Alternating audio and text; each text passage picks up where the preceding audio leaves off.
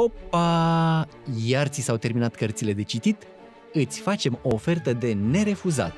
Cele mai recente cărți pentru copii de la editura Viață și Sănătate.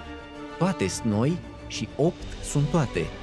Pe raftul cu noutăți avem cărți cu gâze, lei și personalități. Ziua celor mici, 22 mai, numai la editura Viață și Sănătate.